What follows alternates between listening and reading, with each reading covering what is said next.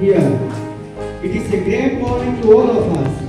Today, we are creating history by forming on its first investiture ceremony Holy Roman School Board. Therefore, it is a momentous occasion for our school. With your action, create a legacy that will inspire others too to dream more, learn more, and do more. That you are an excellent leader. English teacher means former English authority.